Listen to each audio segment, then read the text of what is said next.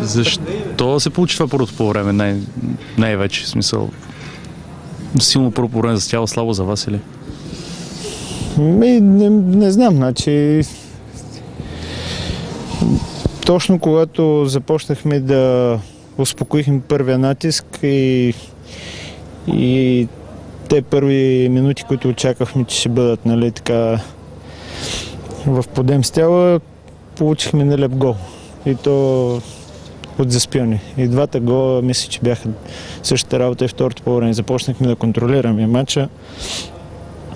Едно е въздушно единоборство и там ни обяснило защо не срещахме човек. При първия гол бяха две идентични ситуации в разстояние на 20 секунди. Първата Мболи успя да я спаси, после отново допуснахте същата грешка на футболиста на с глава да играе първи с топката.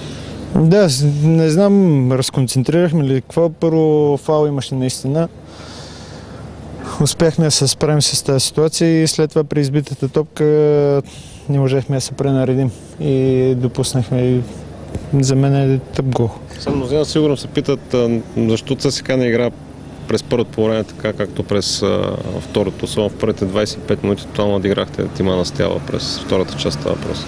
Така е, и да се питаме и да не се питаме, най-лошо за сектора с нашите привърженици, които а, за сетен път показват, че много обичат клуба и са винаги зад нас и за тях ми е най-болно.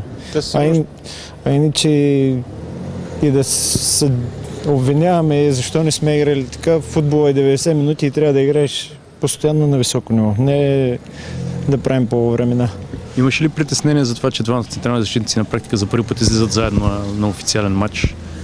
Е, не знам, м, И просто... в тебе, така като човек пред тях. Не, значи всеки един футболист, който му гласува доверие в е, нашия отбор, трябва да се справя с задачите и също време тези, които са вътре, не могат да си избират с кой да играят. Стават контузии, стават е, треньорски решения, така че тук не е място някой да си казва с това мога, с другия не мога.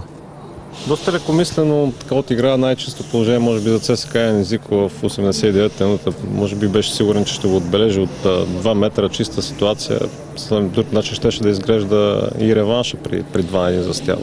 Действително и той със сигурност е искал да вкара гол. Видяхте, че през целите 90 минути всяко неговото игране беше освиркано.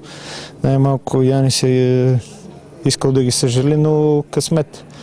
Наистина при 2 на 1 шансовете са по-други. Сега в София нищо не е загубено, но трябва да сме много концентрирани отзад. Напред ще вкараме гол и съм убеден.